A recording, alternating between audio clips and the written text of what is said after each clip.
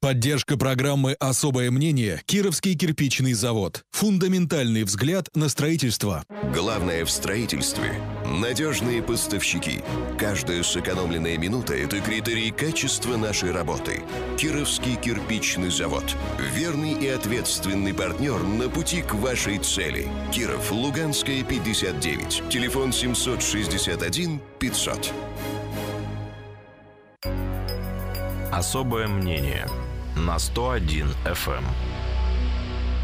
13.06 в Кирове начинается программа «Особое мнение». У микрофона работает Светлана Занько. И свое особое мнение сегодня высказывает предприниматель, депутат Кировской городской думы пятого созыва и начальник избирательного штаба Ксении Собчак Алексей Кузьмин. Алексей, добрый день. Добрый день. Ну что же, начались дебаты на всех официальных э, главных э, телеканалах страны и в Кировской области тоже. На ГТРК «Вятка» и на Радио России э, дебаты уже стартовали. Ну что, приготовил ты уже стакан воды? Воды. Ну, э, я думаю, вы намекаете о тех дебатах, которые были вчера, э, когда почти все кандидаты в президенты участвовали в очень интересном спектакле под названием «Донести свою точку зрения до многомиллионной аудитории». Да, и... мы имеем в виду дебаты у Владимира Соловьева. Все верно, угу. да, на э, федеральном телеканале, где почти все кандидаты в президенты пытались рассказать свои предвыборные тезисы, предвыборные лозунги. Аудитория этих дебатов была многомиллионная.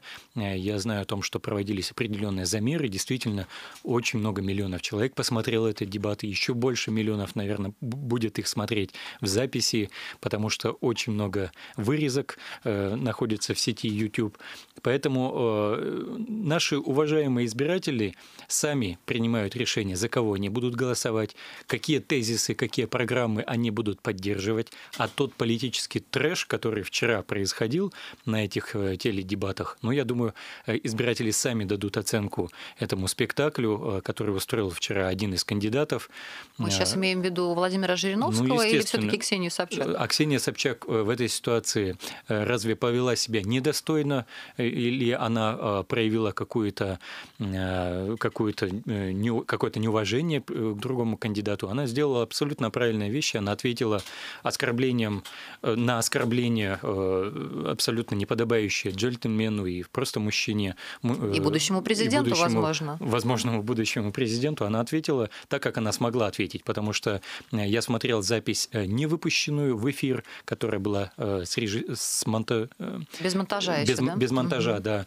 И там она четко сказала, что мне драться, что ли, с этим человеком? Я же не мужчина, но почему я должна выслушивать такие прямые оскорбления? То есть он не, не, не высказывает свою точку зрения по ее программам, по ее тезисам или предложениям. Он оскорбляет ее как личность, как женщину.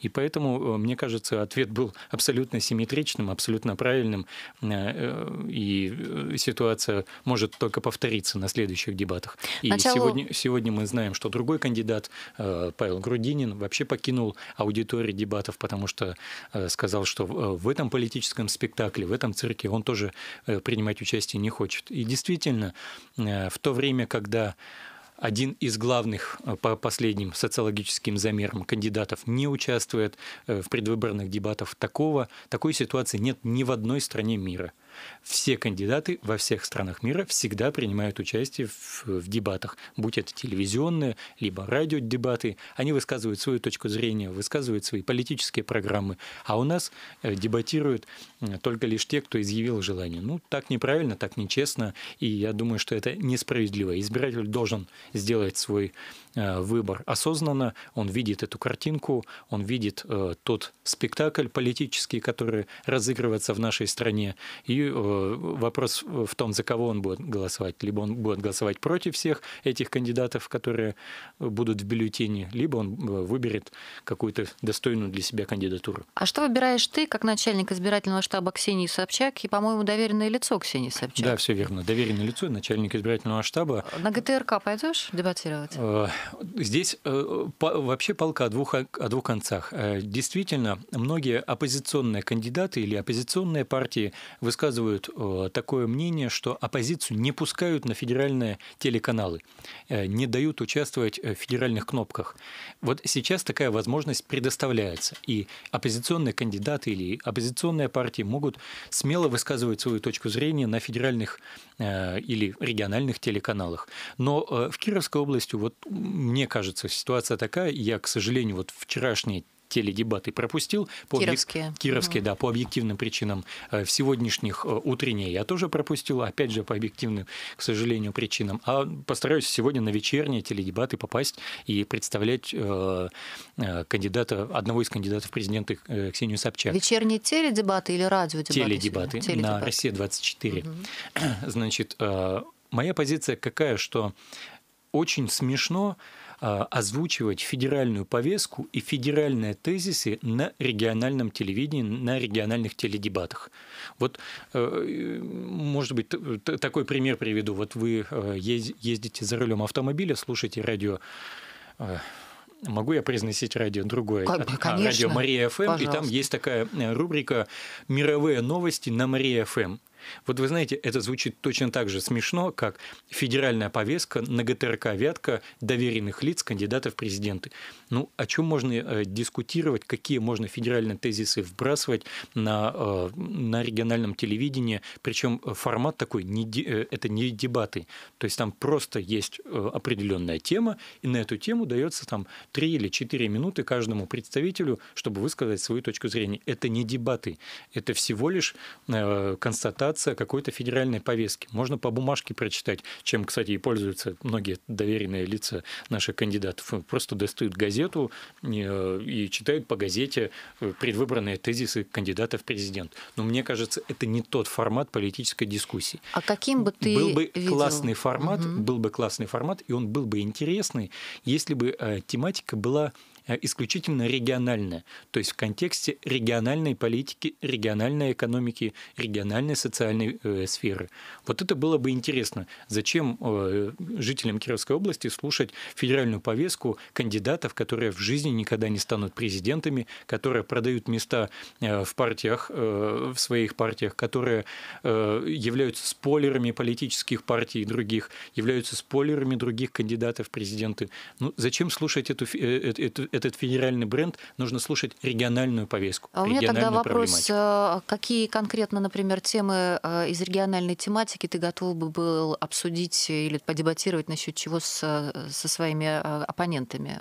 на дебатах здесь? Безусловно, одним из главных, одной из главных повесток региональных дебатов, дебатов должны стать бюджетные отношения. Это раз. Это возможности наполнения, пополнения бюджетов региональных, муниципальных.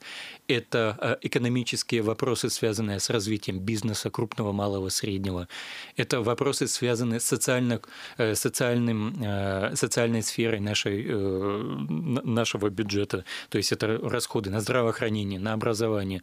Это вопросы, связанные со строительством, строительство инфраструктуры, жилья. Это вопросы культурные. У нас в городе что ни день, то культурный скандал. Вы, э, вы сами знаете, и в том числе и принимаете участие э, в тех дискуссиях, которые связаны именно с культурными вопросами в нашем городе.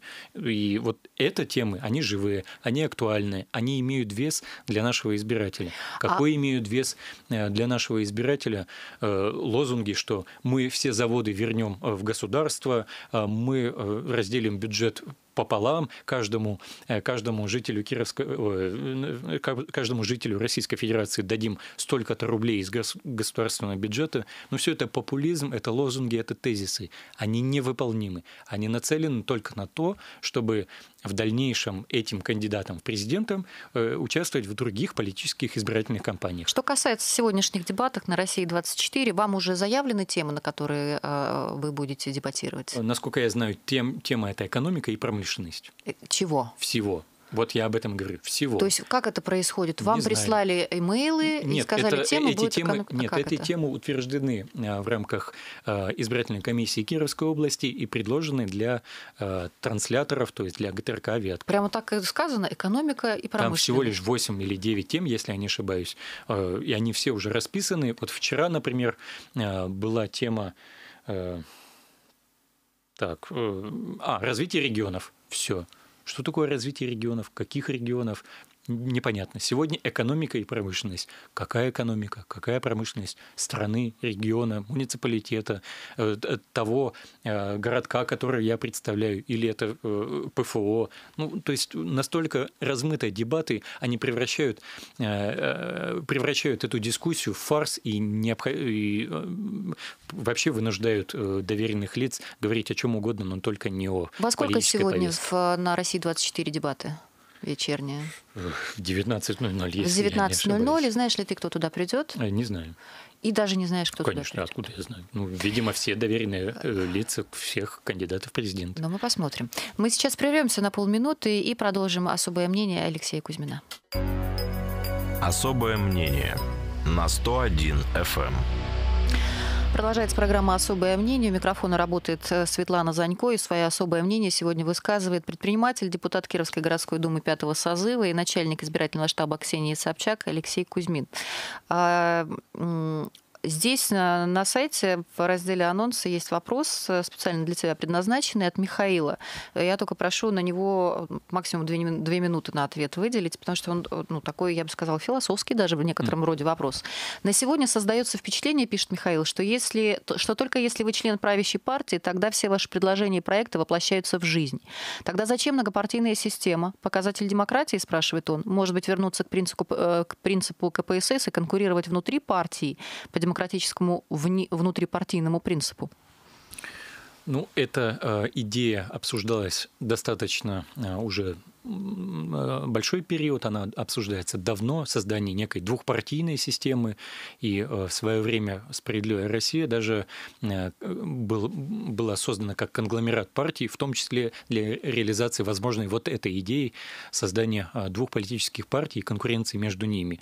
Но идея провалилась по объективным причинам, потому что в стране все-таки должна быть политическая дискуссия, она должна быть широкая и развернутая, с пестрой палитрой, палитрой спектры политических партий, политических кандидатов, э, но то, что вот слушатели уважаемые предлагают, создание некой системы КПСС, э, монопартийной системы, э, она, она и сейчас существует. А вы скажите мне, вот разве идет дискуссия сейчас между между другими политическими партиями? Разве сейчас не продвигаются идеи исключительно одной политической партии? Разве сейчас не работает кадровый политический лифт только внутри одной политической партии? Ну вот система, она сложилась, она устоялась, она существует уже долгое время.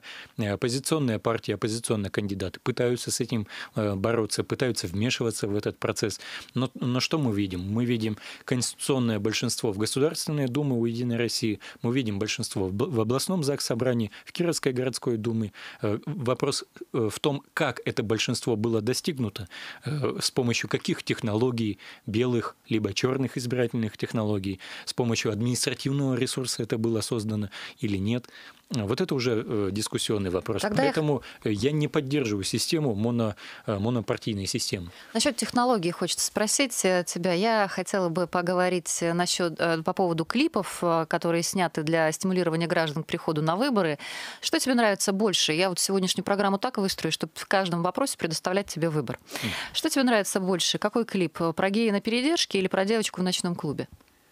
Вот вы знаете, обсуждать вот эти клипы, которые нацелены, э, мягко говоря, не на очень думающую аудиторию, а которые нацелены на молодежь, которая в любом случае вообще не придет на выборы. Вот я уверен, что э, явка молодого избирателя на эти выборы, она будет ниже плинтуса, она будет рекордно низкая, потому что молодому избирателю такие выборы неинтересны.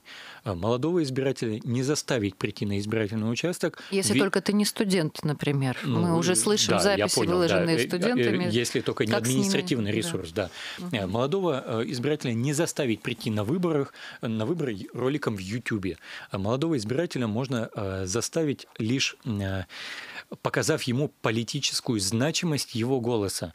А когда э, большинство молодых людей говорит о том, что за меня и так все решили, результат уже мне известен, я уже вижу по федеральным телеканалам и в сетях интернет уже какие-то процентовки по итогам голосования Тульский после 18, избирком. 18 э, марта. Я вообще считаю, что необходимо запретить любые публикации социологических исследований этих в ЦИОМ и ФОМСа. Они никогда не совпадают с реальной действительностью, они никогда не совпадают с результатами э, выборов. Ну, никогда такого не бывает. Это манипуляция общественным мнением. Так вот, в этой ситуации молодой человек принимает решение, да зачем мне вообще ходить на выборы? Или, э, или я думаю, если молодой человек имеет свое, свое мнение, имеет хоть какую-то политическую грамотность, то он все-таки придет на избирательный участок и поставит галочку, но за того кандидата, которого он считает либо э, своим кандидатом, либо считает, что этот кандидат против всех. Ну и чтобы а, осуществить такой переход от э, темы выборов и всего, что с ней сейчас связано, а, я бы хотела задать тебе вопрос и предоставить выбор национальной идеи для нашего государства.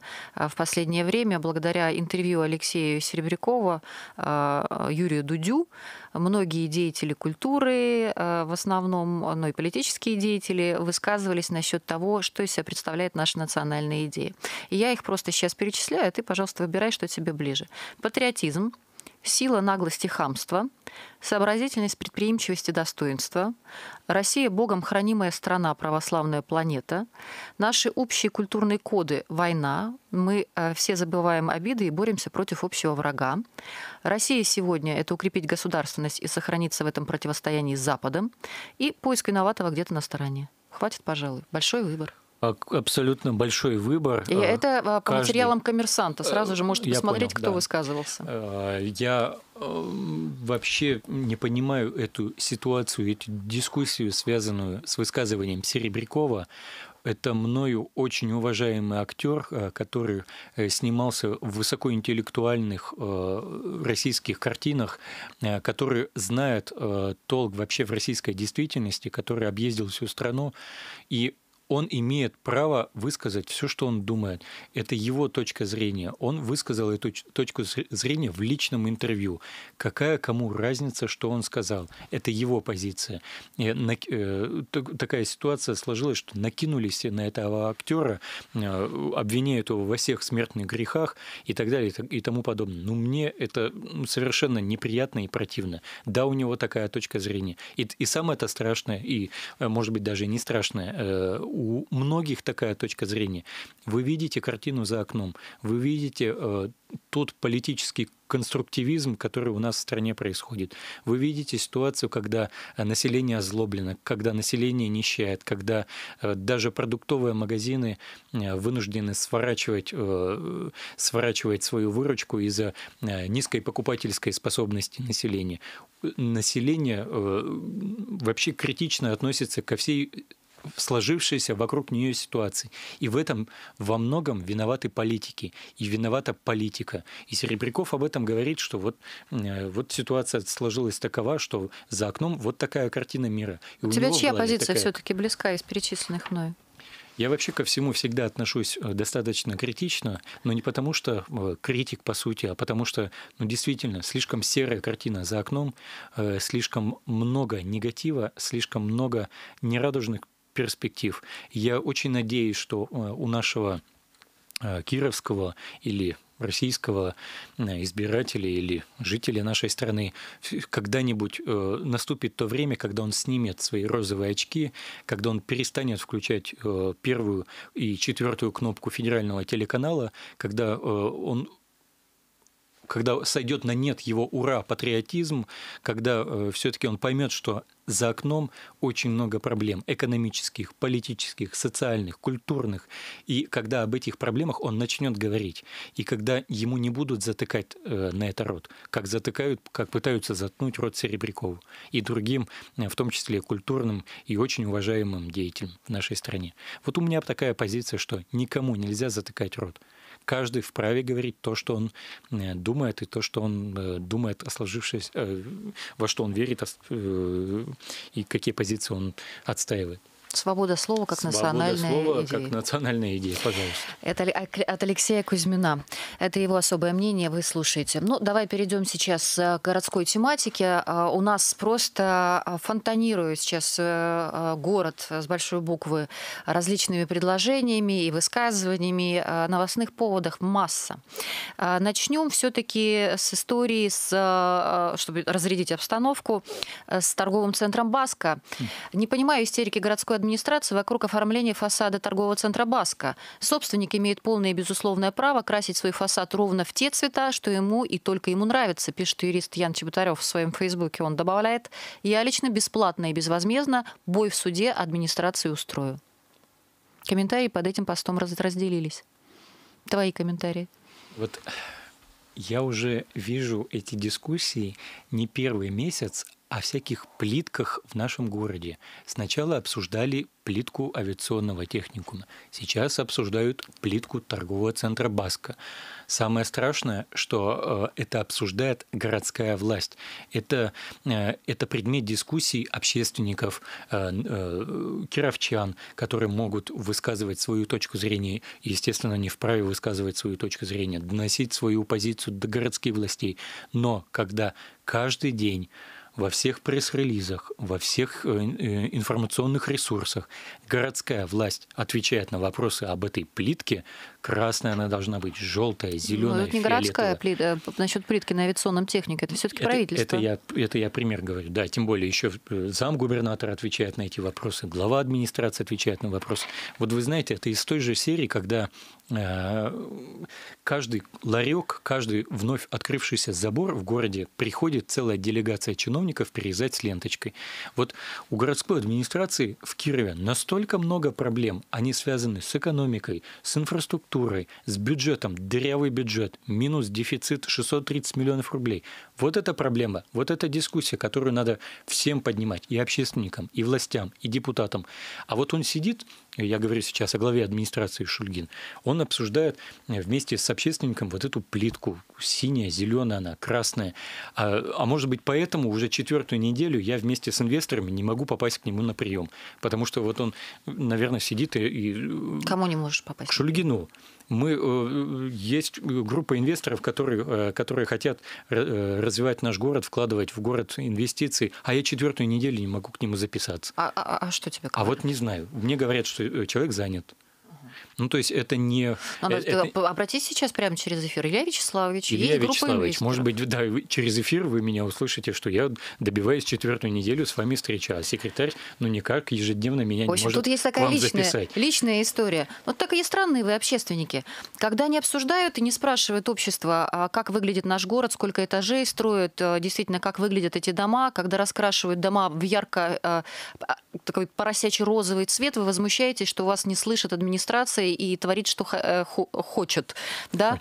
А когда вас спрашивают, вас слышат и даже приглашают для обсуждения, вам не нравится, что они обсуждают эти мелкие вопросы. Как ты не поймешь вообще, разберитесь.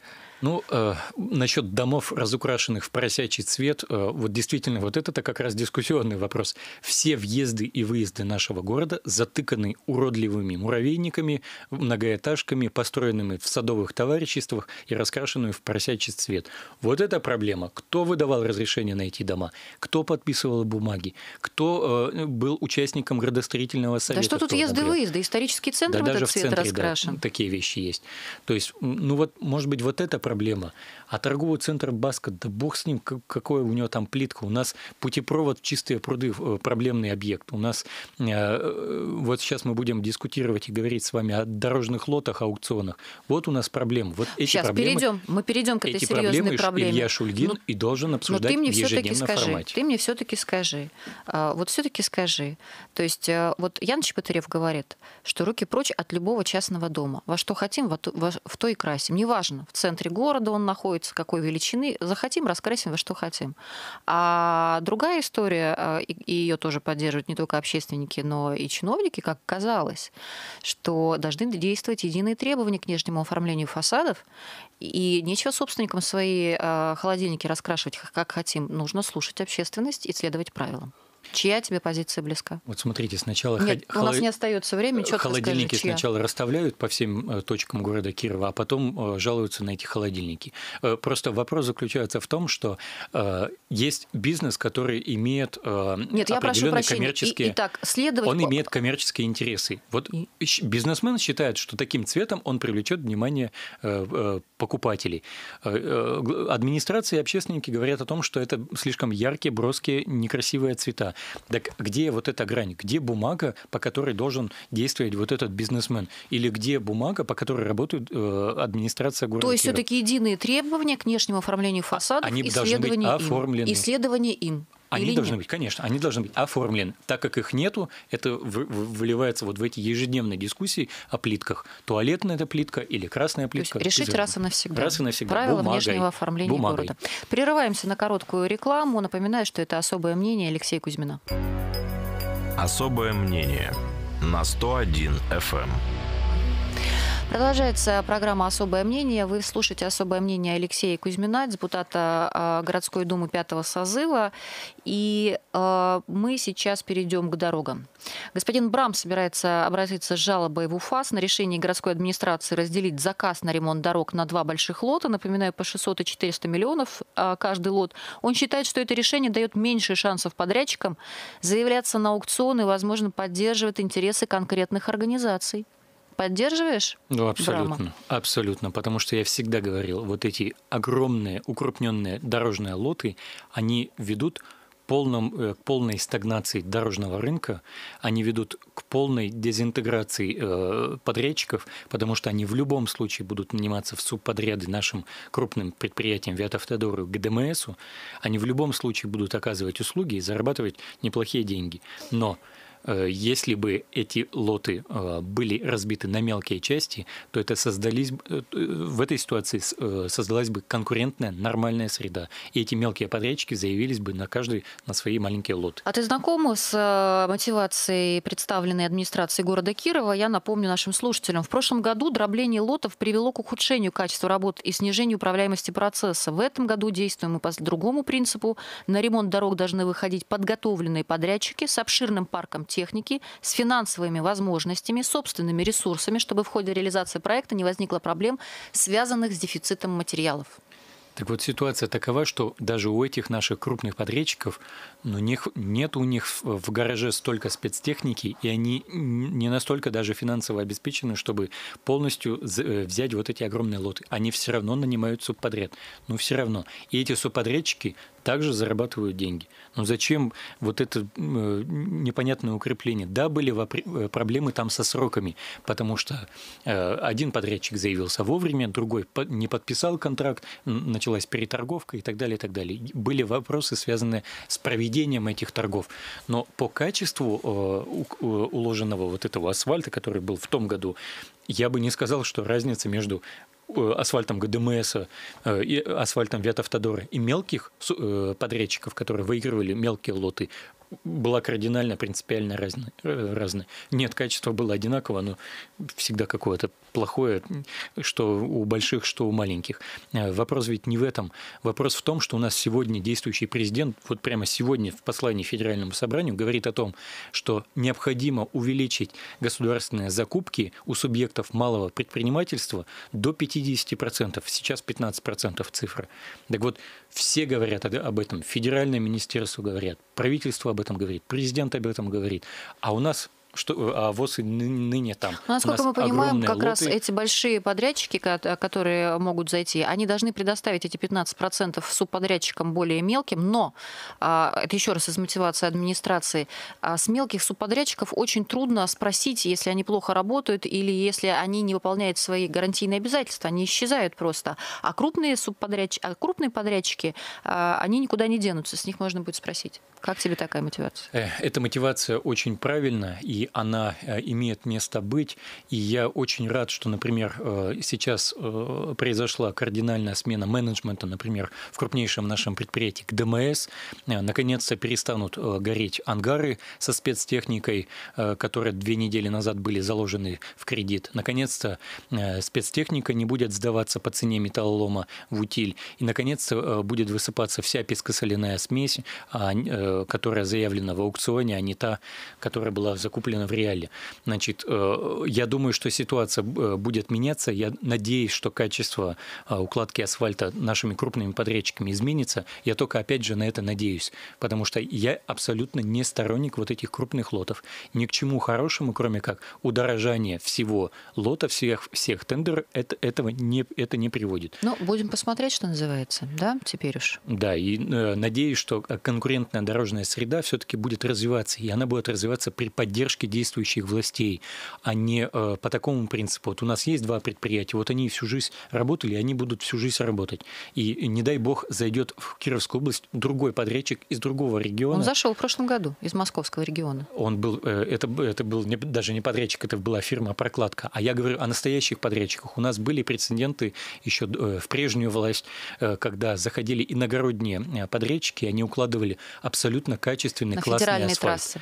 Качественный классный асфальт, который лежит до да. сих пор, и никто его На не федеральных трассах так и происходит. Не будем далеко уходить от темы городского устройства. Снова обратимся к словам сити-менеджера. На этот раз возвращаемся к судьбе оврагов засора. Илья Вячеславович предложил построить во враге школу и спортивную школу. Народ в комментариях под новостью на нашем сайте пишет убрать руки от исторического рельефа и разбить там парк, и только парк. А ты что скажешь? В этой ситуации я больше поддержу а, городскую власть. Почему? Потому что а, когда мы говорим о строительстве школы, будь то, а, будь то образовательное учреждение, либо спортивная школа, мы все-таки говорим о федеральном финансировании этого проекта. В городе нет ни одного рубля на строительство новой школы. Ну, максимум на какое-то копеечное софинансирование, потому что бюджет дырявый, как решето. И когда мы говорим о строительстве школы в центре города, это очень важный проект, который подтянет федеральное финансирование, дети получат э, новое учебное заведение, родители перестанут ездить э, из центра города на юго-запад и в Коминтерн, и это решит очень многие э, образовательные, образовательные вопросы. Что касается парка и сквера в культурной части города, это тоже все нужно, важно, красиво. Люди должны получать качественную, благоустроенную городскую среду. Они должны получать пешеходную инфраструктуру, тротуары, прогулочные зоны, аллеи. Но где взять деньги э, на эти мегапроекты в городском, э, как дырявым, как решето бюджете? Ну, не подтянуть сейчас. Э, единственное, вот есть проект по благоустройству городской среды, но в любом случае, вот в этом году, в эту программу, этому проекту уже не вклинится. Ну, в конце концов, у нас целых три, а, даже четыре а, а, оврага в цепочке засора, которые можно и парками благоустроить бы, и школу спортивную построить, и, и обычную общеобразовательную. На открытие космического центра, который состоится в 20-х числах марта, в Киров ожидается, что приедет господин Мединский. Событие само по себе, конечно, прекрасное, торжественное, но прелесть его состоит еще и в том, что у министра можно что-нибудь попросить как водится у нас, да. И если он отреагирует на просьбу, например, то э, там скажет, мы учтем, например, ваше пожелание, или это прекрасное предложение, этому высококультурному городу обязательно вот это вот необходимо. Отсюда вопрос тебе, как человеку, любящему город Киров, что попросить у Мединского? Ну, конечно, не очень красивая ситуация, когда приезжает федеральный министр, и все должны с протянутой... Уж какая есть, да. но не с протянутой, я, я, а с предложением. Я поэтому и говорю, mm-hmm. да, что вот такая ситуация, она сложилась в нашей стране, что региональные чиновники вынуждены ездить на поклон э, федеральное ведомство, федеральные кабинеты, министерства. Уж где налоги наши лежат. Да, вот я про это и говорю, что э, выпрашивать каждую копеечку назад себе в регион, тех э, денег, которые мы уплатили в виде федеральных налогов. Ну, вот уж такая политическая конъюнктура. Чем богаты, тем и рады. Но если мы говорим о таком примере, когда губернатор нашего региона, может быть, быть, какие-то министры нашего регионального правительства будут выпрашивать деньги у Мединского на какие-либо проекты, то, безусловно, необходимо реконструировать культурную инфраструктуру. У нас, у нас есть театры, у нас есть филармония.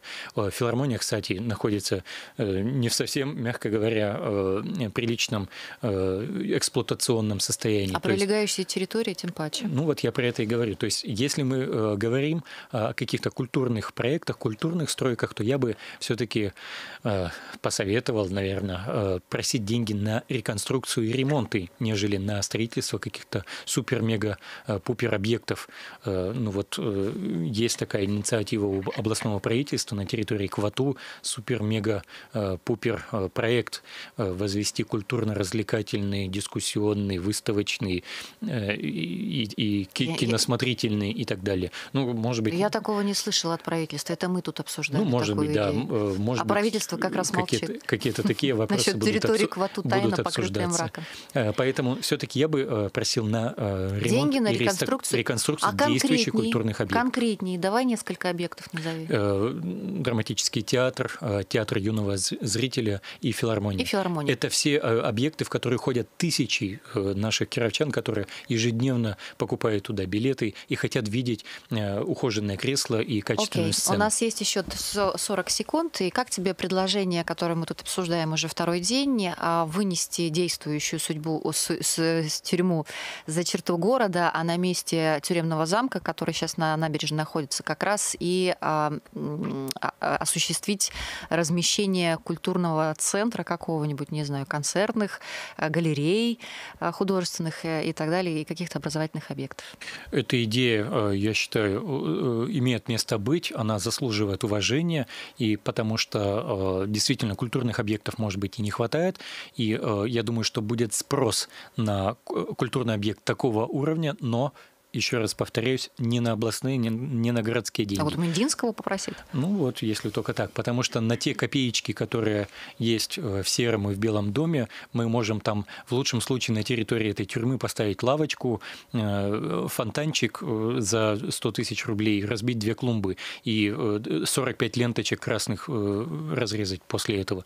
Поэтому все-таки это должен быть мега, это должен быть интересный большой проект с федеральным финансированием зоне. А то, что тюрьма в центре города находится, причем в пешеходной проглоченной зоне, зоне, ну, конечно, это некрасиво. Это, наверное, это уже не модно, неправильно и не актуально.